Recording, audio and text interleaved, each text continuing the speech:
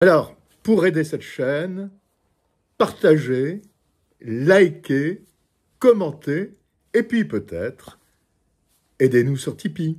Le monde diplomatique.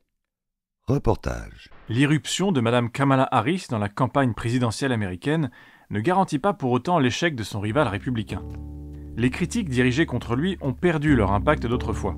Il s'appuie sur un électorat qui voit en lui le champion d'un peuple que méprise une élite progressiste. Monsieur Trump prendra-t-il sa revanche? Un reportage de Serge Alimi. Le Monde diplomatique, septembre 2024, lu par Blaise Petitbonne. L'ancien président Donald Trump déteste les coups de théâtre dont il n'est pas l'auteur. Surtout s'ils lui font perdre de l'argent. Nous avons dépensé 100 millions de dollars pour combattre Joe le tordu, et tout à coup, il décide de le retirer et de mettre quelqu'un d'autre à sa place. Ce ne fut pas la seule surprise de l'été. En moins d'un mois, entre le 27 juin et le 21 juillet, un débat télévisé entre les deux principaux adversaires révéla l'extrême fatigue du président Joseph Biden. M. Trump échappa à une tentative d'assassinat. Les caciques du Parti démocrate imposèrent à leur candidat officiel qui avait remporté toutes les élections primaires de retirer sa candidature au profit de sa vice-présidente, dont les sondages estimaient pourtant à l'époque qu'elle était plus impopulaire que lui. Mais cela aussi allait changer en quelques heures. Madame Kamala Harris était jugée opportuniste et insincère, elle devint radieuse et joyeuse. Les démocrates se rappelèrent alors que l'hymne de leur parti, hérité du New Deal, était Happy Days are here again. Les jours heureux sont de retour.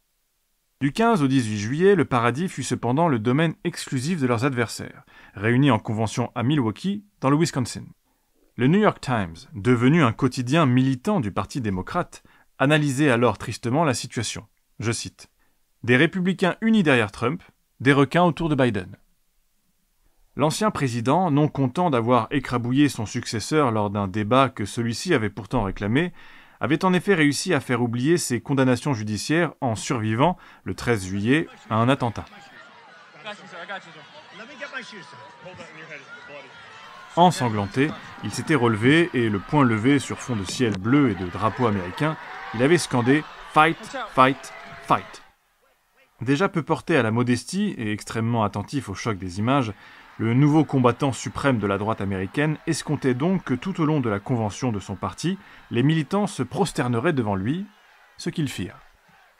Huit ans plus tôt, M. Trump avait injurié la femme de M. Ted Cruz, son concurrent républicain d'alors, en la jugeant laide et vendue à la banque Goldman Sachs. Pour arranger les choses, il prétendit aussi que le père du sénateur texan avait trempé dans l'assassinat de John Kennedy. M. Cruz notifia au délégué le pardon définitif de telles offenses en articulant les premiers mots de son discours de Milwaukee avec une solennité théâtrale.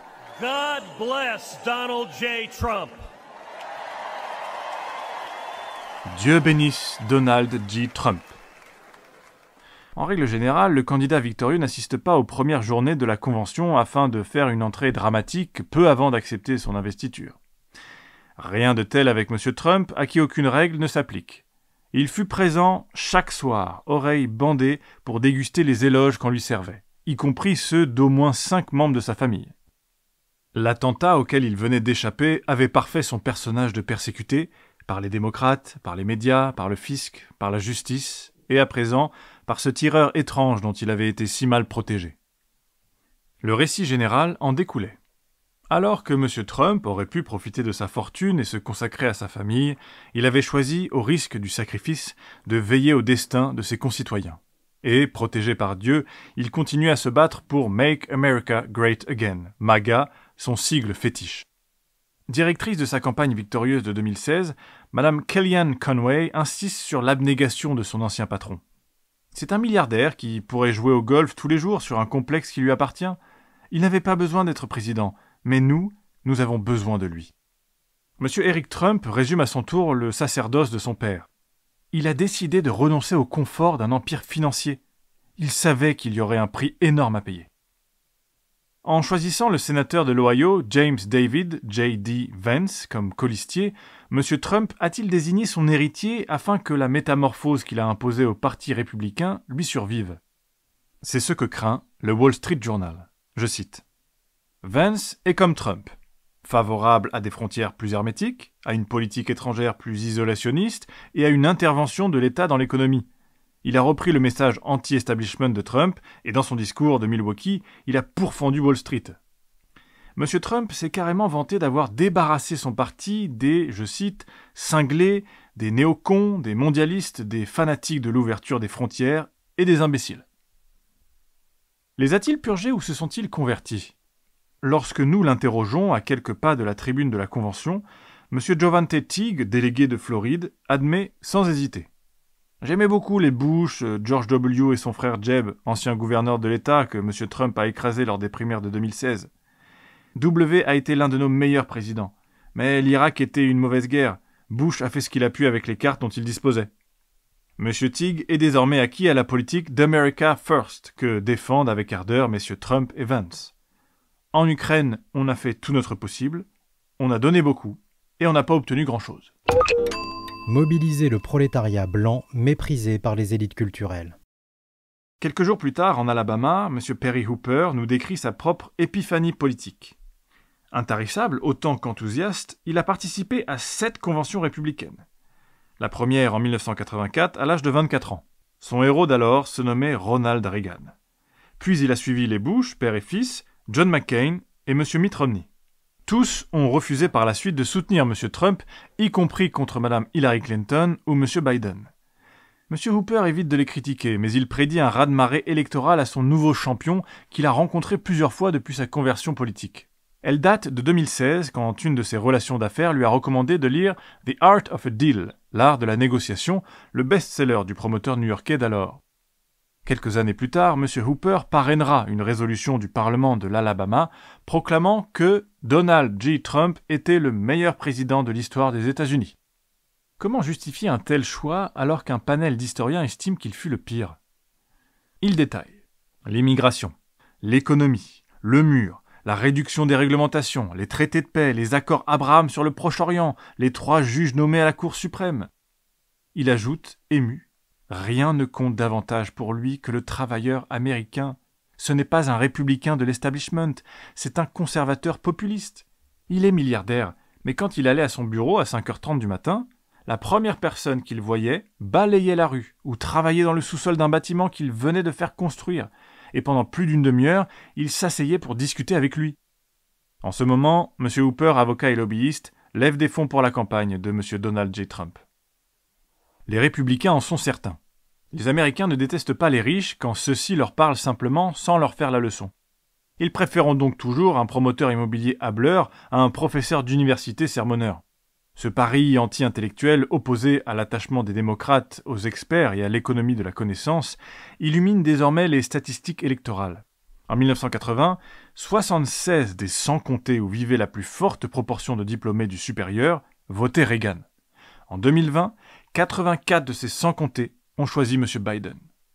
Le poids des diplômés ne cessant d'augmenter dans la population, tout comme celui des personnes d'origine étrangère, des stratèges républicains ont recommandé que leur parti courtise davantage les classes moyennes instruites, en particulier les femmes, et qu'il modère ses envolées anti-migrants.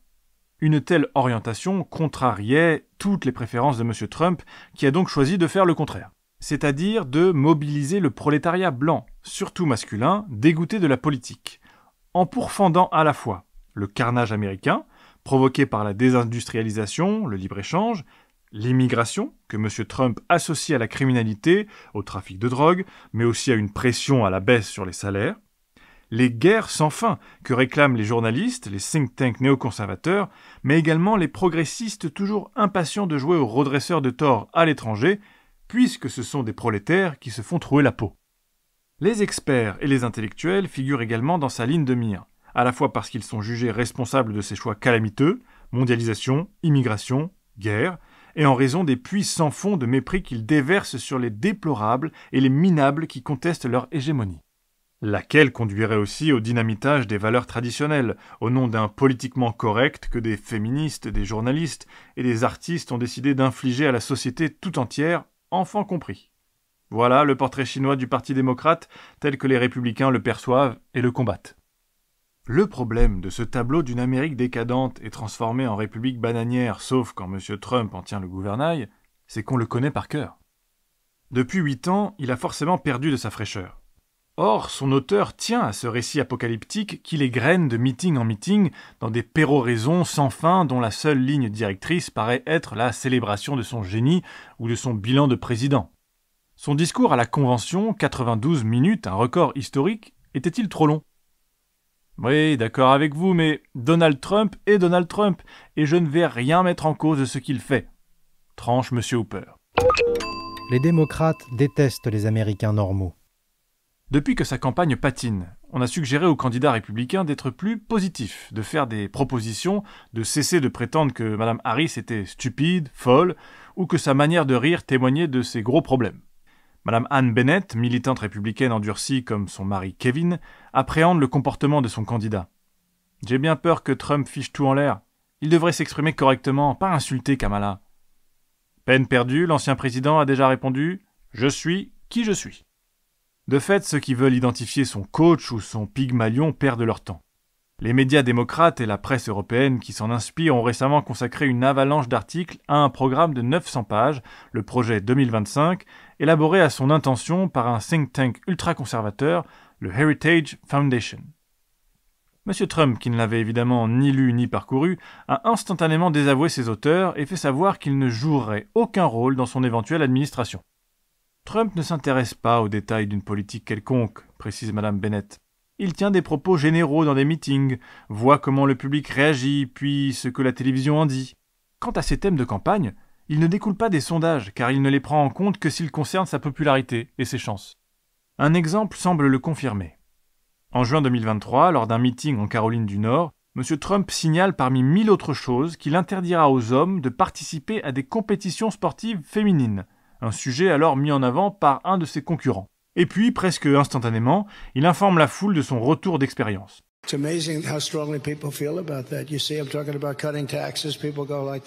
Je parle de réduire les impôts. Les gens applaudissent à peine. Je parle des transgenres et tout le monde s'enflamme. Qui l'aurait imaginé? Il y a cinq ans, vous ne saviez même pas de quoi il s'agissait. Le thème constitue désormais une des marottes du candidat ou comment régler la conduite de la guerre culturelle à l'aune de l'applaudimètre?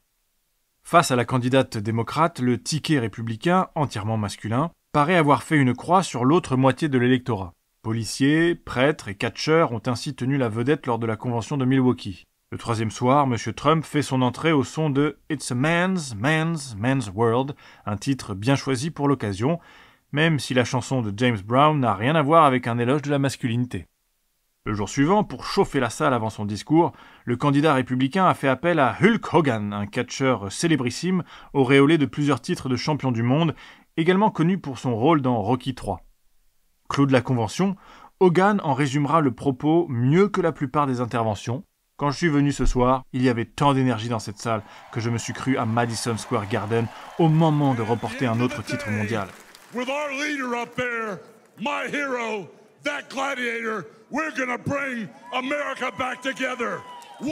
Ici, avec notre leader, mon héros, ce gladiateur, nous allons rassembler l'Amérique. De ses deux mains, il déchire alors le milieu de son t-shirt aux couleurs du drapeau américain pour en laisser apparaître un autre avec les noms de Trump et de Vance. La salle hurle son bonheur. Je suis ici ce soir parce que je veux que le monde sache que Donald Trump est un vrai héros américain. La dernière fois que j'étais sur scène, je saignais comme un porc lorsque j'ai gagné le titre mondial devant Donald Trump. Avec son retour à la Maison Blanche, l'Amérique va gagner à nouveau. J'ai connu des gars durs, et laissez-moi vous dire, mes frères, que Donald Trump est le plus dur de tous. Enquête, impeachment, procès, ils lui ont tout fait, et il est toujours debout à leur botter les fesses. Le choix de M. Vance comme candidat à la vice-présidence ne risque pas d'arrondir les angles de ce machisme décomplexé qui colle à la peau du Parti républicain et de son candidat. Car autant M. Trump est incontrôlable et parle sans réfléchir, autant les propos reprochés à son colistier expriment un courant intellectuel structuré, puissant, qui se radicalise. En 2021, encouragé par son intervieweur Tucker Carlson, extrêmement populaire dans les cercles conservateurs et libertariens, M. Vance a imputé une partie des problèmes des États-Unis à, je cite, un groupe de vieilles filles vivant avec leurs chats. Leur existence les rend malheureuses et elles aimeraient que le pays le soit aussi. Si vous regardez Kamala Harris, Pete Buttigieg, Alexandria Ocasio-Cortez, l'avenir du Parti démocrate dépend de gens qui n'ont pas d'enfants. Ils détestent les Américains normaux qui ont choisi d'avoir une famille. Auteur à succès d'un ouvrage relatant son enfance prolétarienne dans les Appalaches, converti au catholicisme, opposé à l'avortement, M. Vance incarne une Amérique inquiète des transformations de la famille. M. Buttigieg, le ministre des Transports, et son mari ont adopté des jumeaux quelques jours après l'entretien avec Tucker Carlson. De la baisse de la fertilité et du taux de fécondité, de la progression des femmes sur un marché du travail où les emplois ouvriers, masculins, disparaissent. Les couples n'ont plus autant d'enfants, et ceux-ci manquent de frères, de sœurs, de cousins pour rompre leur isolement comme pour signaler que le problème démographique ne concerne pas autant les hispaniques ou les afro-américains, Carlson résume Les blancs sont haïs. Ils se détestent eux-mêmes. Ils ne se reproduisent plus. Ils disparaissent.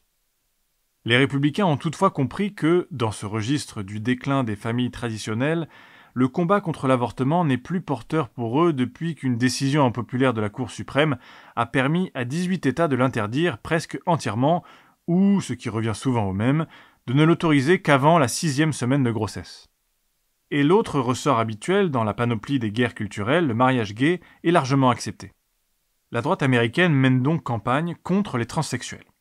Les écoles, qui encourageraient cette transition, les États qui n'en informeraient pas les parents, les sports qui permettraient à des hommes biologiques de concourir dans des épreuves féminines. Autant de signes à ses yeux d'une décadence américaine que seule une réélection de M. Trump endiguerait peut-être. L'identité du sauveur vertueux devrait surprendre, mais comme le pasteur de l'église baptiste d'Opelika, Alabama, l'a rappelé en juillet dernier lors de son office dominical, vous marchez où Jésus vous dit de marcher, même si vous ne comprenez pas où vous allez. Un peu plus tard, un des théologiens présents ajoute en guise de précision Dieu utilise des faux prophètes pour accomplir le bien. Comme M. Trump?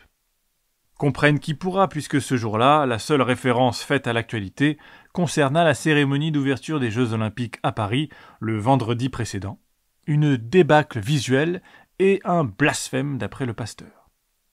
M. Trump est revenu en Caroline du Nord le 14 août dernier, non pas pour parler des transgenres, mais pour détailler son programme économique.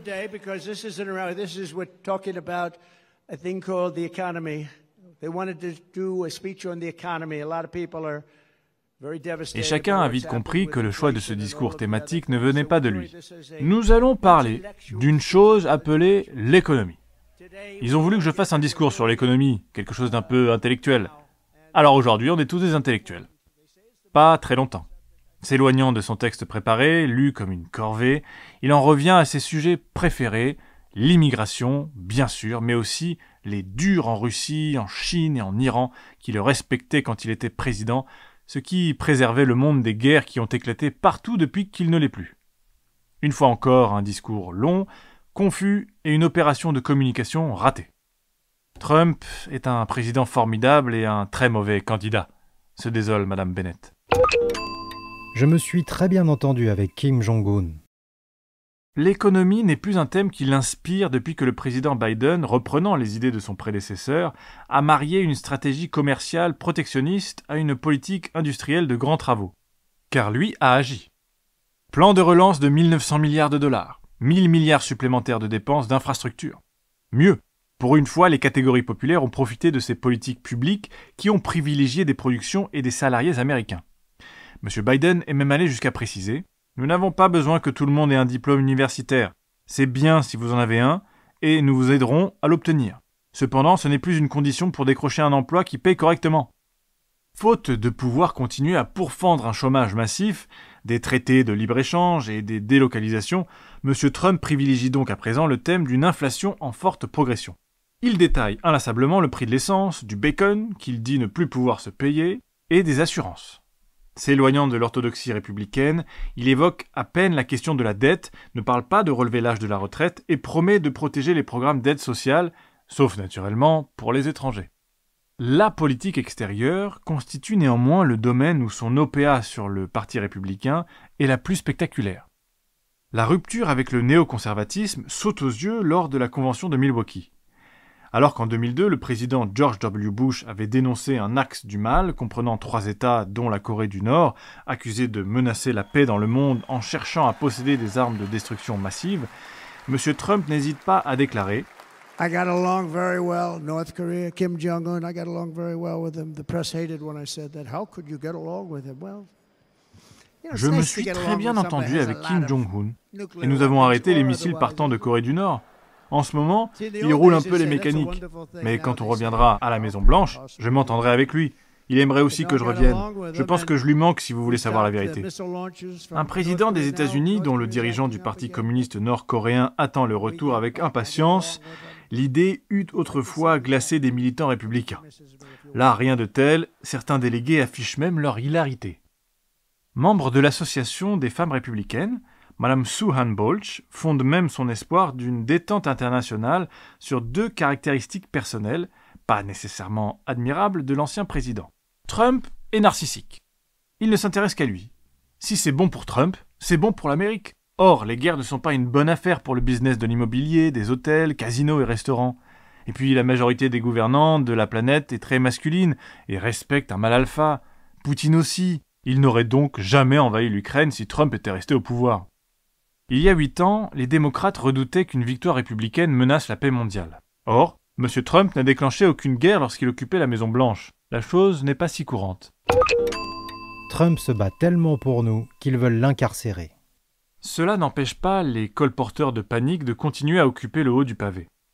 D'un cycle électoral à l'autre, on ne peut que constater la place croissante des réseaux sociaux, des petits films de propagande que chaque partisan vous envoie dès que vous discutez une de ses affirmations car l'adversaire est toujours l'ennemi intérieur. Les démocrates sont plus dangereux que les Russes et les Chinois, prétend M. Trump dans un entretien complice avec Elon Musk le 12 août dernier. En mai 2023, M. Cruz interrogea Sean Hannity, un journaliste de Fox News, à sa dévotion. Imaginez que vous ayez pour objectif de détruire l'Amérique. Qu'auriez-vous fait différemment de Joe Biden? Réponse de Hannity Rien. Et j'ai très peur que la Chine le voie, la Russie le voie, l'Iran le voie.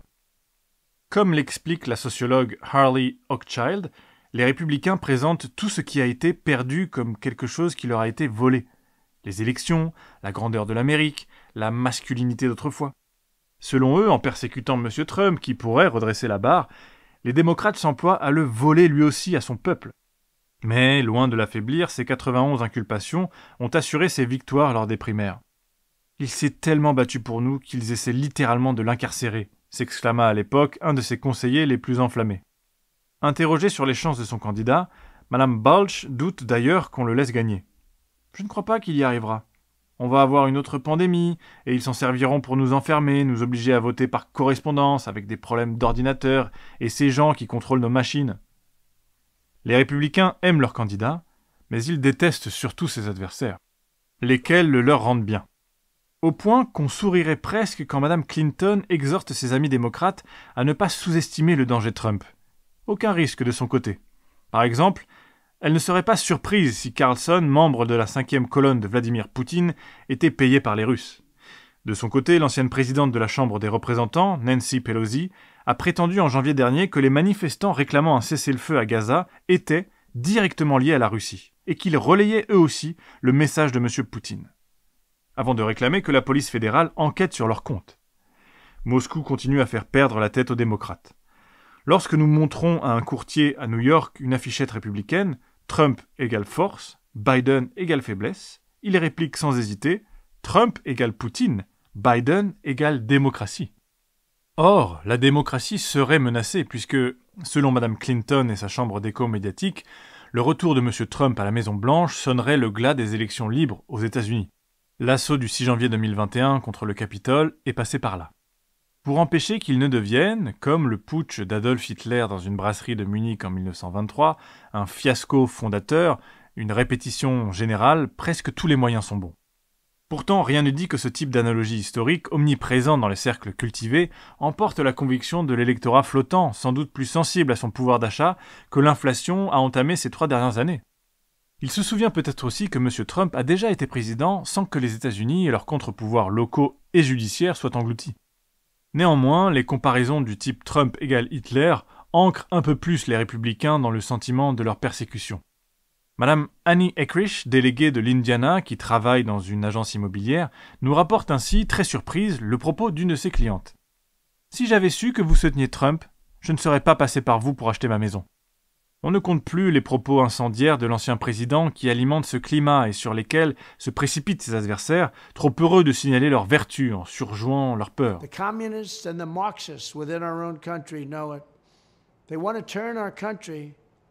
Les migrants qui empoisonnent le sang de notre pays, les communistes, marxistes, fascistes et les voyous de la gauche radicale qui vivent comme de la vermine. Toutefois, puisque les démocrates prétendent qu'il affabule en permanence, qu'il est un menteur pathologique, ce qui n'est pas faux, pourquoi prennent-ils pour argent comptant ce qu'il dit quand il fulmine?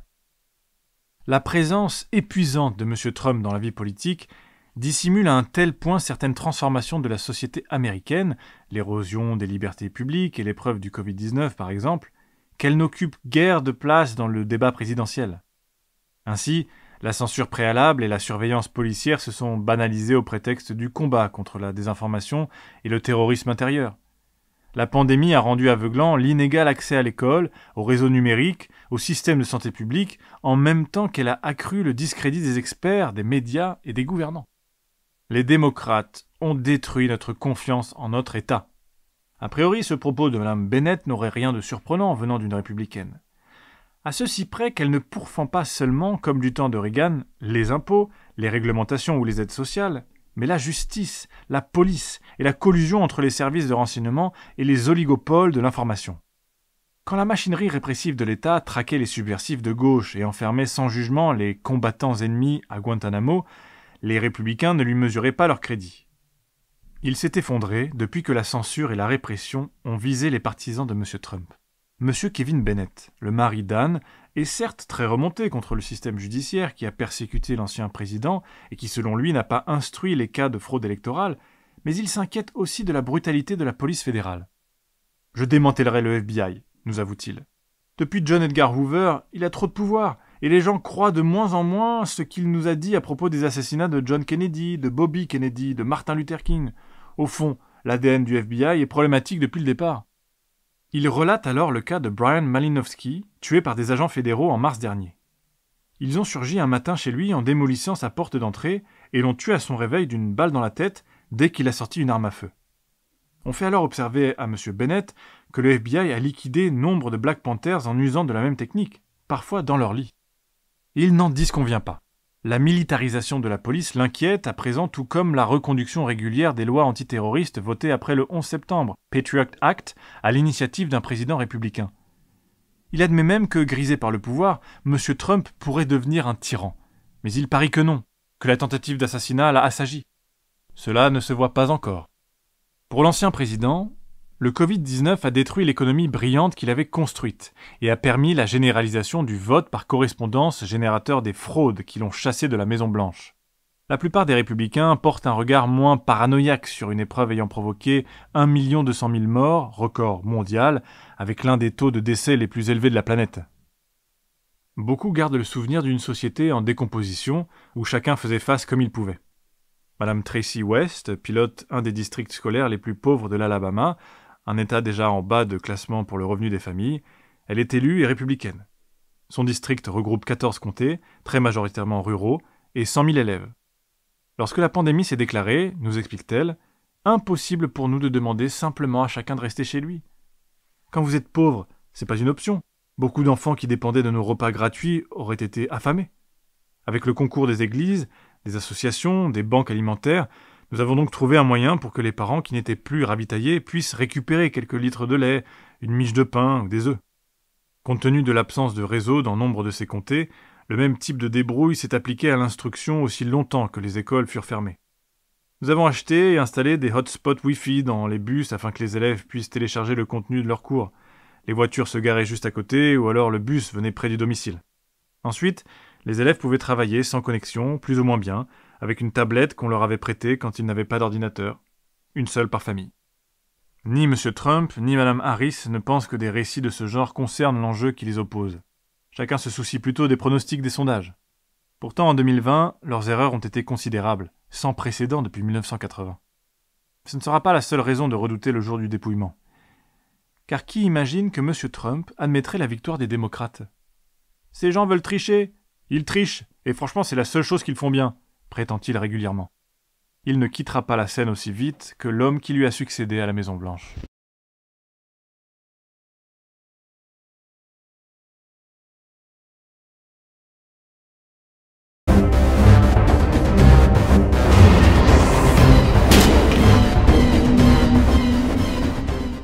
Alors, pour aider cette chaîne, partagez, likez, commentez, et puis peut-être aidez-nous sur Tipeee.